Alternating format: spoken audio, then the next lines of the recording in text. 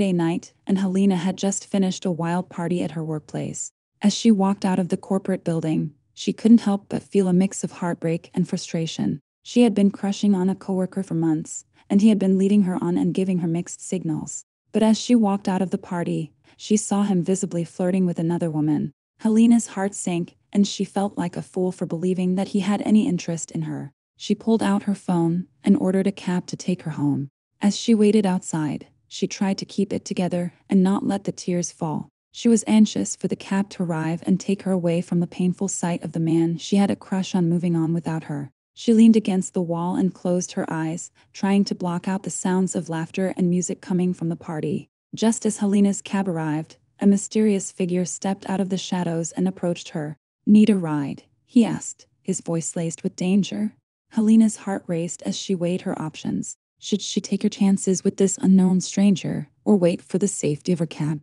As Helena hesitated, the stranger reached out a hand and grabbed her arm. Come on, I'll give you a ride, he insisted, his grip tight. Helena's heart pounded in her chest as she tried to pull away, but the stranger was too strong. Just as she was about to give up hope, a car pulled up to the curb and a handsome, religious man named Aaron stepped out. Hi, I'm Aaron. I'll be your driver tonight, he said with a firm face as he opened the door for Helena. Thank you, Helena replied, feeling relieved as she escaped the clutches of the mysterious stranger and got into Aaron's car. Aaron's presence seemed to intimidate the stranger, and they quickly retreated back into the shadows as he approached. As Helena settled into the car, she couldn't help but take in the details of her surroundings. She was struck by the clean and organized space. The car had a faint scent of incense and candle wax, and there were small altar like spaces set up on the dashboard and back seat. The seats were made of buttery soft leather, and the controls and buttons had a sleek and modern look. Yet there was a little idol of the Indian god Hanumana, kept above the air vents, and the fresh flower offered at its feet, which filled the space with a calming smell. Helena couldn't help but feel a little intimidated by Aaron's modern yet religious aura. She had always been more of an atheist, with little interest in spirituality or the supernatural. She glanced over at Aaron, who was adjusting the rearview mirror and checking his blind spot before pulling out of the parking lot. He was a handsome man, with piercing blue eyes and a chiseled jawline. His dark hair was neatly styled, and his attire was a mix of modern and traditional a crisp white shirt tucked into well-fitting jeans, paired with a pair of black sneakers. Despite his rugged good looks and seeming confidence, Helena couldn't help but sense a depth to Aaron that she hadn't noticed before. He seemed to exude a sense of peace and calm, almost as if he was at one with the world around him. She couldn't help but be drawn to him, and as they set off on their journey, she found herself wondering what else she might learn about him. As they began their journey, Aaron twirled the pencil around his fingers, flipping it back and forth with practiced ease. It was a nervous habit he had picked up years ago from his mother, and one that he couldn't seem to shake. Helena watched him with a mixture of amusement and concern. Are you okay? she asked, eyeing the pencil as it spun through his fingers. Aaron chuckled, a little self conscious. Yeah, I'm fine, he said, noticing her concern. I just do this when I'm driving to keep myself alert. He realized that Helena might be worried about him driving with only one hand, so he placed the pencil on the dashboard and put both hands back on the steering wheel. Don't worry, I've got this, he reassured her with his confidence. As Helena watched Aaron twirl the pencil between his fingers, she couldn't shake the feeling that there was something deeper going on with him. Was he really as composed and confident as he seemed, or was he hiding something? And why did he feel the need to keep himself alert while driving, even if it meant relying on a nervous habit like twirling a pencil? Helena's curiosity was piqued, and she found herself wanting to know more about Aaron and his motivations. Thanks. Helena noticed that Aaron was taking a longer route than she had expected. Hey, can you take the shorter route to the drop off point? I'm trying to save some money on this cab ride. Aaron hesitated. I'm not sure if that's a good idea. The shorter route is known to be haunted. I've heard of some pretty strange things happening to people who take that route. Helena rolled her eyes. Oh, come on. That's just superstition. I'm sure we'll be fine. Plus, I really need to save some money on this ride. Aaron sighed and ran a hand through his hair. He touched his pencil, flipping it with his fingers again. What are you thinking about so much? Helena chuckles. He thought carefully, looking at his parents' photo, which was stuck near the looking mirror. Someone I know, he always told me to avoid this route. Helena placed a hand on Aaron's arm. I understand your concern, but I promise you that we'll be fine. I have complete faith in you as our driver. As Aaron gazed into Helena's eyes, he struggled with indecision. Should he confront his doubts or take chance and try the shortcut? Helena couldn't shake the feeling that something was troubling Aaron as she watched him nervously twirl a pencil between his fingers. Just as she was about to ask him about it, he slowed down almost to a stop. Suddenly, a knock on the car window made Helena scream as Aaron veered sharply towards the shortcut. In the darkness, she saw a flash of light and realized that it was a police officer standing outside, a concerned look on his face. Everything okay here? The officer asked. He was peering into the car with his flashlight. Aaron let out a sigh of relief. Yes, everything's fine, he said, forcing a smile. We were just taking a shortcut through the forest.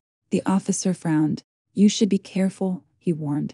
This road can be dangerous, especially at night. There have been reports of strange occurrences in the forest, and I wouldn't want anything to happen to you. Helena's heart raced as the officer walked back to his car and drove off. As Aaron navigated through the eerie forest with Helena checking the wind rustle outside, it felt like a storm was brewing. The sky was clouded, and the dusty wind carried the fallen leaves from one place to another. The wind was volatile and hit the car, causing some of it to enter the car engine through the front vents. However, Helena was cozy inside the car, trying to focus on anything other than the creeping sense of unease that seemed to fill the air. She couldn't help but think about how muscular and sturdy Aaron's arm felt when she touched it, and she found herself craving more physical contact. Aaron couldn't shake the feeling that something wasn't right, but he didn't want to alarm Helena. He kept his concerns to himself and twirled the pencil with his fingers. So, Aaron, Helena said, trying to make small talk and ease the tension. Tell me more about yourself. What do you like to do in your free time? Aaron smiled, grateful for the distraction. Well, I'm a bit of a history buff. I love learning about ancient cultures and their religions, and I'm also a big fan of yoga and meditation. It helps me stay grounded and focused. Helena raised an eyebrow. Yoga and meditation, that's not exactly what I was expecting from a guy who looks like he could bench press a small car. Aaron chuckled. I guess I'm full of surprises. What about you? What do you like to do in your free time? Helena sighed. Honestly, I'm not really sure. I've been so busy with work and trying to find myself that I haven't had much time for hobbies or interests. But I do love dancing. It's one of the few things that can help me clear my head and forget about all my problems. As they continued to talk and get to know each other, the forest around them seemed to fade away, replaced by the comforting presence of each other's company. As they drove through the spooky forest, the wind started to change, and the air around them seemed to grow colder and the trees seemed to loom closer. The car began to slow down to a crawl. The engine sputtered, and the headlights flickered as if something was interfering with its function. What's going on? Helena asked, her voice shaking. I have no idea what's going on, he said, his voice filled with confusion. I've never had any problems with this car before. Aaron got out and opened the engine lid, tried to fix the car, and tried to understand what was causing the strange malfunctions, but he had no luck. I don't know what's going on, he said, his voice filled with frustration. I've checked all of the usual suspects, but everything seems to be in working order. He looked around here and there, up and down to say, I don't like this route. Helena's eyes narrowed. She grabbed her phone to rescue herself by booking another cab and said, Or maybe it's something to do with your car engine. Maybe it's not as reliable as you thought it was. She would have been a little less direct if it was not so late in the night and not the middle of a forest. As Helena stepped out of the car, she found that the ground was soft and slippery beneath her feet. She wobbled slightly, her balance thrown off by the unexpected terrain. But before she could fall, Aaron was there to catch her, his strong arms steadying her as she regained her footing. Thanks, Helena said. She gently looked away as she tried to book another cab from her phone. But frustratingly, she couldn't find any service. Helena sighed. Can I borrow your hotspot? My internet is so slow that it's practically non existent. Aaron hesitated. I'm sorry, miss, but my phone services were long gone from the time we entered the forest. It's like whatever is jamming the car doesn't want us to talk to the outside world. Helena couldn't believe it. She was stuck in the middle of nowhere with a handsome stranger in such a condition, and things were starting to get really spooky. Helena looked around outside and couldn't shake the feeling that they were being watched. Aaron noticed the fear in her eyes and tried to comfort her. Don't worry, I'm sure we'll see a car passing by and we can ask them for a lift. Just hold on a little longer. As Aaron and Helena waited by the side of the road, they tried to pass the time by talking about their fears and insecurities. Helena, feeling a bit nervous about the darkness surrounding them, turned to Aaron and asked, Are you afraid of the dark? Aaron chuckled and shrugged. Not really. I mean, it's just darkness. It's not like it's alive or anything. Helena raised an eyebrow. You never know. Some things in the dark can be pretty terrifying. Aaron shrugged again. I guess you have a point there. But I like to think that as long as I have my wits about me, I can handle whatever comes my way. Helena smiled, feeling a bit more reassured by Aaron's confidence. I hope you're right. I don't think I could handle anything else tonight. I didn't really have a good time at the party. Aaron raised an eyebrow in curiosity. Why is that? Helena hesitated, wondering if she should share her story. But something about Aaron's kind and understanding gaze made her feel like she could trust him. She brushed a strand of hair behind her ear and said, There was this guy at work. He had been leading me on for months, but I'm not sure if we're ever going to happen. Aaron's eyes narrowed. Is he gay? Helena laughed, shaking her head. Shut up, she said it in a friendly way. He's far from gay. I just think he's not interested in me that way. Aaron shrugged his shoulder and said, Forget him. You can do better. I can tell. Any man who doesn't see what he's missing out on is blind. Helena blushed and smiled at the subtle compliment. Thanks, I'll try to remember that. If we make it out of this forest alive, I'll stick a note about it on my wall. Aaron smirked, trying to distract himself from their dire situation. Don't worry, he said, his voice laced with confidence. We'll make it through this. He spun the car keys through his fingers, the metal glinting in the faint light as they moved in an intricate dance. We'll wait a little longer, see a car comes by. If not, we'll walk it. As Helena watched Aaron do that twirl thing again with his fingers, this time with the car keys instead of the pencil, she couldn't help but feel a sense of mystery about that habit. It seemed like an involuntary habit, and yet there was something almost graceful and rehearsed about the way he moved his fingers. As they continued to wait for a ride, the air around them kept getting colder. They had been hoping for a vehicle to come by and give them a ride, but as the minutes ticked by, it seemed that their only option was to walk to the other end of the forest. Helena couldn't shake the feeling that something wasn't right. She felt a shiver run down her spine, and she knew that they had to get out of there as soon as possible. Aaron checked the time and said, I guess we should make a move now, he said, his voice quavering slightly. We can't stay here. It's not safe. Helena nodded, her eyes still fixed on him. Something about him seemed very comforting to her. I agree, she said, her voice laced with concern. We have to find a way out of this forest, and we have to do it fast. We've already driven halfway through, we shouldn't be too far away from the other side. Together, they nodded in accord to keep moving forward. As they walked on the soft and slippery ground beneath their feet, Aaron reached out to take Helena's hand, guiding her around a particularly muddy patch of ground. Be careful with your footing, he said, his voice low and concerned. We don't want to risk an injury on top of everything else. Helena nodded, taking Aaron's hand in hers as they continued to walk. She wasn't used to walking so close to a man, at least not without getting her heart broken. Her own thoughts criticized her for feeling attracted toward Aaron. If thoughts could be things, then she couldn't shake the feeling that something was judging them, that unseen eyes from the shadows were watching them. She tried to push the thought to the back of her mind, focusing on putting one foot in front of the other. They walked in silence, the only sound the soft crunch of their footsteps on the forest floor. The forest seemed to close in around them, the darkness and the silence oppressive and unnerving. As they were walking down the deserted road, which felt like almost about an hour, Helena couldn't help but feel a deep sense of exhaustion wash over her. She yawned as she tried to fight off the heavy desire to sleep. I don't know if I can keep going, Helena said, her voice barely above a whisper. I'm so tired. Aaron rubbing his eyes, also feeling heavy with sleep. We can't stop here. We need to make it to the highway. Helena sighed, her shoulders slumping with weariness. Is this just a physical exhaustion? She asked, her voice laced with emotion. I think all the constant disappointment and heartbreak. It feels like every time I open myself up to someone, they end up letting me down. Aaron replied like a comrade. I understand, he said, his voice full of compassion. I've been there too, but we can't let that stop us from living our lives and finding happiness. For what I know, we have to keep moving forward, no matter how difficult it may seem. As they walked on, the air around them seemed to grow colder and more oppressive. The darkness seemed to close in around them, and the feeling of dread grew stronger. But they knew they had to keep moving, no matter how tired they were or how afraid they felt. They clung to each other, determined to survive whatever horrors lay ahead. Despite their best efforts, they couldn't shake the feeling of sleepiness that seemed to envelop them. They walked on, their bodies unconsciously drawn towards each other, seeking out each other's warmth and comfort as they fought to keep their eyes open. It was unclear whether it was their exhaustion, the late hour, or something else at play that was causing them to feel so sleepy. All they knew was that they couldn't keep going much longer. Just when they were starting to lose hope, they caught sight of a vehicle in the distance, parked by the side of the road. Excitedly, they quickened their pace, hoping that the driver would offer them a ride to the nearest bus stop.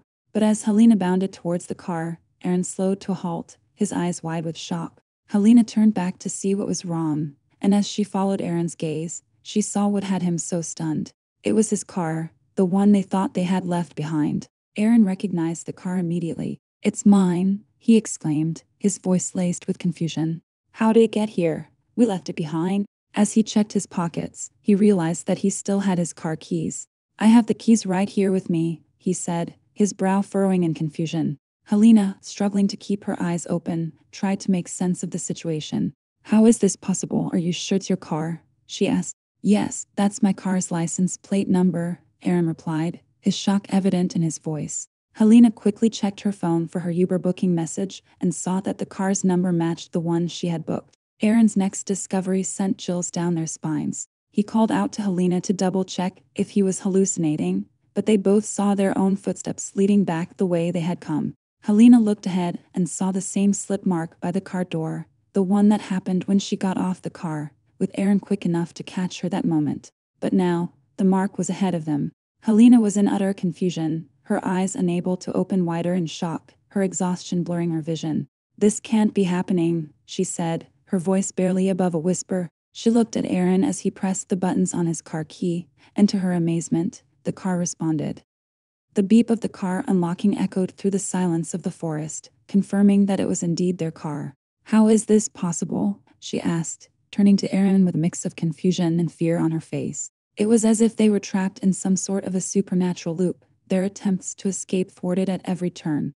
Back then, she thought it was just her anxiety that made her feel she was being judged or watched, but now, it felt like something was closing on to them from the shadows behind the forest trees. They were so spooked, they couldn't help feeling a sense of desire to hold each other and conform themselves. But since they were just two strangers with no connection with each other, they tried to ignore it, pretending that it was just the cold making them feel this way. As they were drifting off into a deep slumber, they found themselves aware of a faint, ghostly figure watching over them from a distance, a strange little girl with piercing blue eyes and a sly smile. Helena, I'm not sure of what I'm seeing.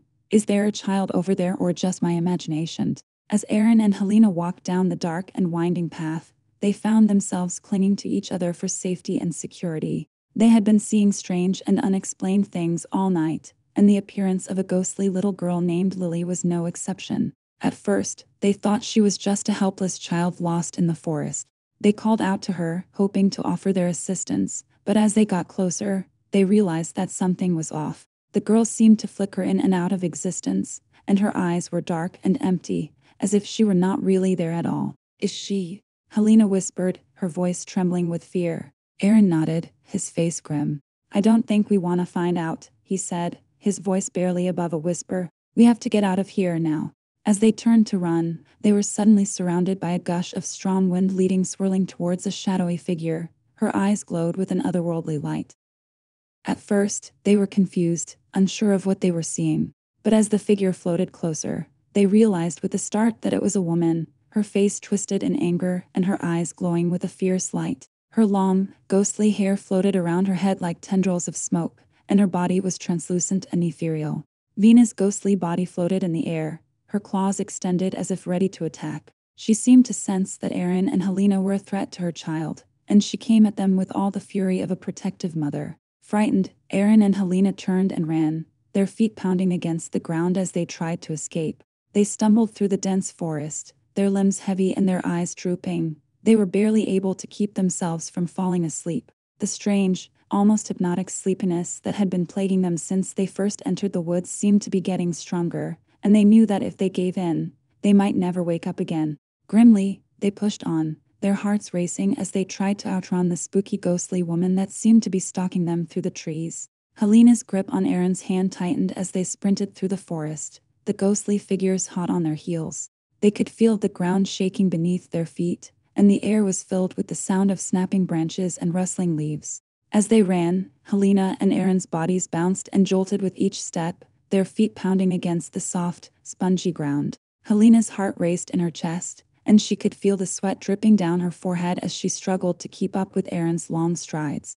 Despite the fear and adrenaline coursing through her veins, she couldn't help but marvel at how agile and athletic Aaron was, his toned muscles flexing and rippling as he navigated the treacherous path. At one point, he even lifted her up and carried her over a particularly slippery patch of ground, his grip on her tight and reassuring.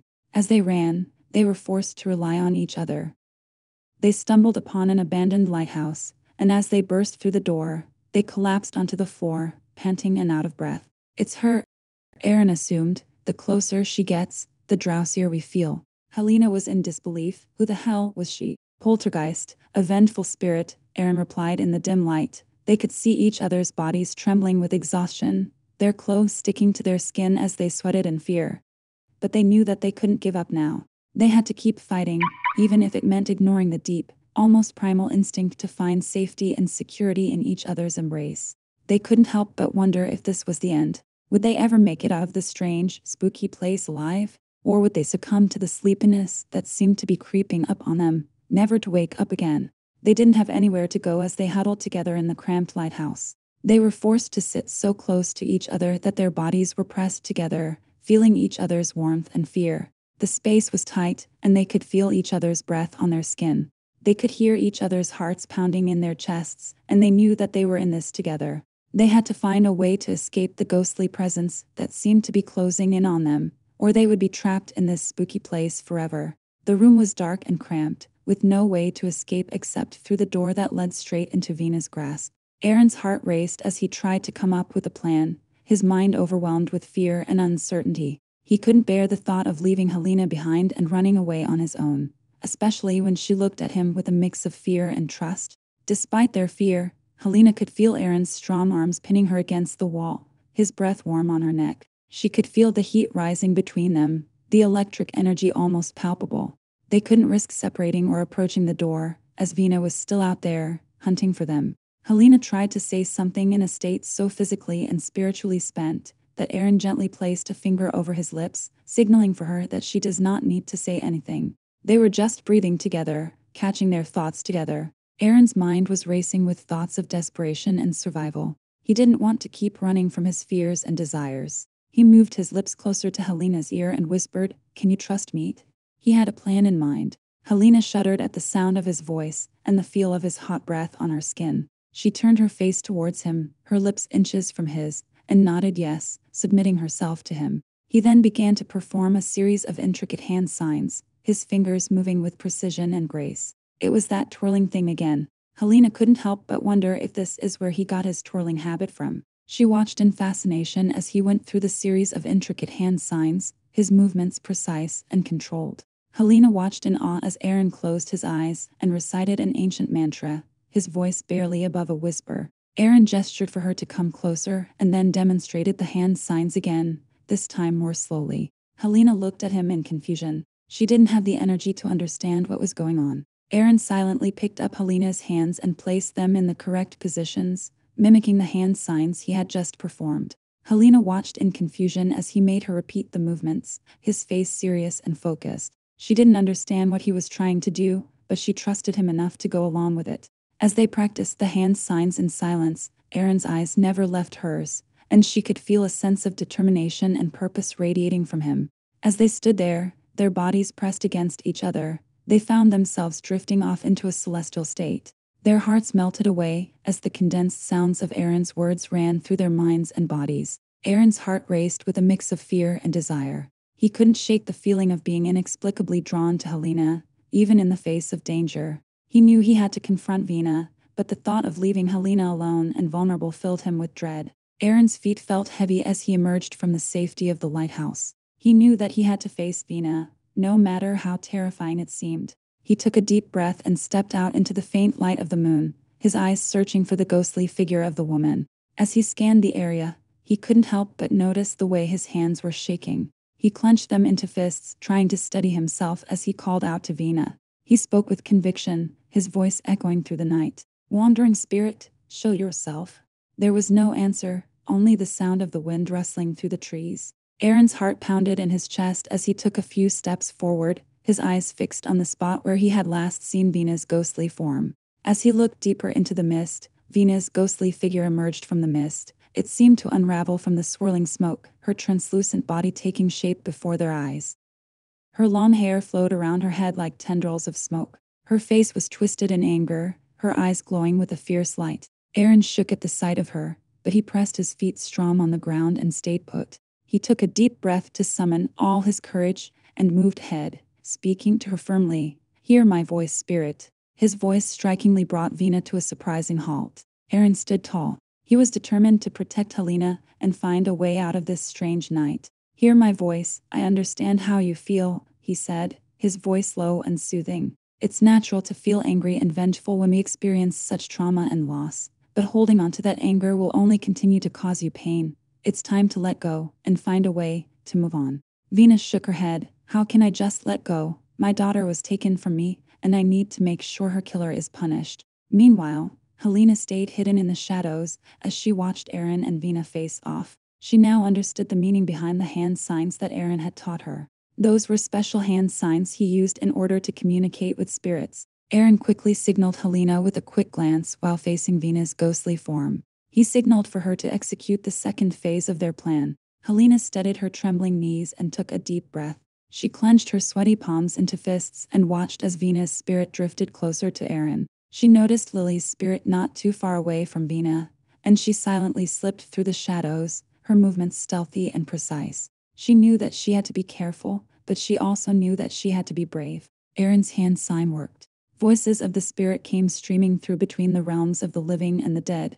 Vina shook her head. I can't just let go. My daughter was taken from me, and I need to make sure her killer is punished. Aaron nodded. I understand your desire for justice, but sometimes the best way to honor the memory of our loved ones is to find a way to let go of our anger and find peace. It's not easy, but it's the only way to truly honor their memory. As Aaron spoke, he could see Vina's aura slowly start to dissipate. She slowly sank back down to the ground, her rage and pain starting to recede.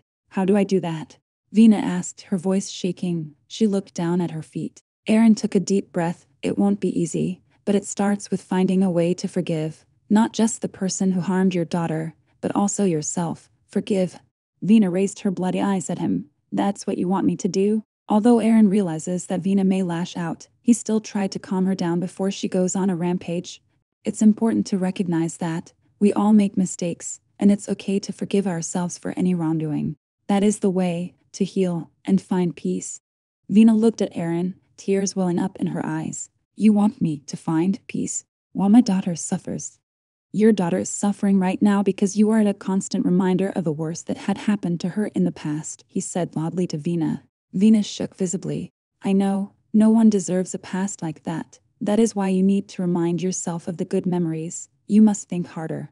Vina knew that he was right, but she couldn't remind herself anything to help herself. She sunk down to the ground. What good will memories do? Aaron replied firmly. It's the only good thing a parent can give their children. Vina's eyes opened widely. Her knees shook in revelation. Aaron knew she needed to hear this, Every parent knows that their child will have to walk this world without them, and memories are the only place they can guide us from. Lily needs you. She needs to remember that it will be okay. Bad things happen, but we learn and move on. It's the only way. Our memories guide us, they teach us to be kind, to love, and to find hope in the face of hardship. The memories of our mothers and fathers show us the path to a better future. Life is not about the time we spend between birth and death, but about how we choose to live in harmony and cherish the good things. Vina fell to her knees. She touched the grass on the surface while trying to remember life with her daughter. I used to imagine her wedding day, her college life, she and I used to humor about it, and now I can only remember that I died a pathetic mother who couldn't save her daughter. Lily raised her head. She had been silently standing there while Helena came closer to her. Helena performed the hand signs, and Lily's voice came echoing through it as they had planned. Lily wanted to let her mother know, You were a good mother, Mom. I remember you. Vina turned in surprise. She heard her daughter's voice after many years. You used to pack my tiffin. You took me to school. You loved me. You worked every day, but you always picked me up from school. I couldn't remind you how he died. I know who killed us. Vina stood up gratefully after learning that the killer has been found. Her eyes opened wide. Who was it? Who killed my daughter? She asked with her fists ready to find and kill.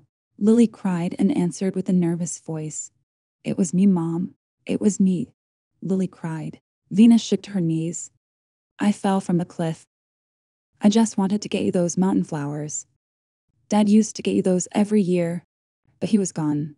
I'm so sorry for being so reckless, Mom. I saw you die because you couldn't bear losing both Dad and me. I couldn't cross over. I was so scared. I saw the doctors cover you in a white sheet and you never got a funeral. And now you've become an angry spirit, all because of me. I'm so sorry, Mom. It was then that Vina realized that Lily's death had been a tragic accident and not a murder as she had thought. And Lily has been blaming herself for it all this time.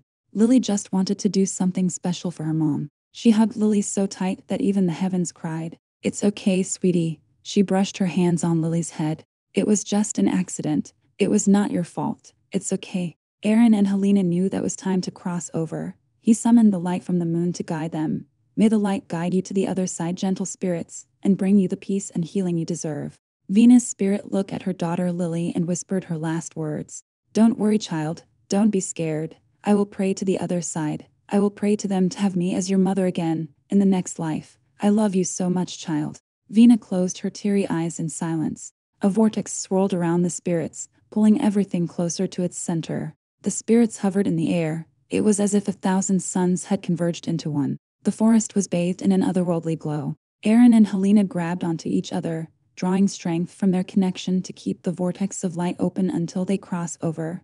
The spirits were enveloped in the glow of the moon's light, finally at peace. Aaron and Helena collapsed against each other, their hearts still racing with a mix of fear and desire.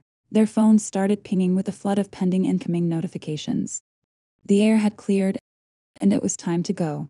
As they found their way back to the car and sat inside, Aaron couldn't help but reflect on the events of the night, his eyes fixed on the photo of his mother that sat on the dashboard. I think we learned that mothers are truly incredible beings, he said, his voice laced with emotion. Even after death, their love and guidance can still reach us through memories and spirit. Helena, still frightened with the activities of the night, nodded. We definitely learned something tonight, she said. Aaron noticed she needed some distraction from the horrors of the night, so he lightened the mood with small talks. I think we also learned that shortcuts are bad. Helena smiled. Well, maybe not all that bad if you want to get some coffee and talk about it. She flirted, a hint of hope and a voice that their harrowing experience had the potential to grow into something more. You were quite incredible the way you handled all that. She appreciated him. Aaron hesitated for a moment before responding. I had your help. Couldn't have done it without you, he reassured her. As Aaron clutched the gear and started the engines, they were relieved to see their car engines were working again, and that they can finally drive themselves out of the forest. Helena whiffed out a breath and asked him, Hey, earlier, you were making gestures with your fingers. What were those? And how did you know all that? Aaron said, those were hand mudras, hand gestures used for channeling spiritual energy. Mom was a member of a mystic group called the Death Retainers. They were responsible for guiding spirits and taking care of the affairs of the deceased. She taught me about them before she passed away.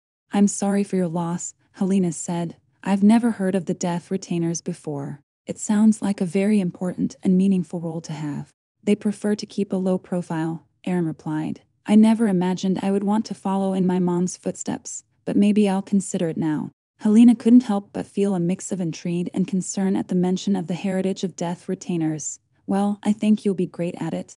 I don't know about you, but I could really use a coffee after all that, she said, her voice laced with uncertainty. Do you want to? He paused. I mean, he stammered again. Do you want to update the cab drop off point to different locations? He asked with uncertainty. She chewed on her lips, cleared her throat, and said, I think I make better coffee at my place. If you want to come over, I think I might still get my cab discount. She flirted a smile at him. Aaron looked deeply at her. She had found some kind of comfort with him. He grinned and steered the car out of the forest while saying, Well, when you put it that way, then I guess I feel glad I took this shortcut. He smiled a flirt back. And as the night ended, he drove towards her apartment, looking forward to the sunrise together. And as the starry sky glittered, Two shooting stars trailed across the sky like new spirits making their way to the next life. The End. Death Retainer by Soumyadipta Roy, also known as Artist Roy.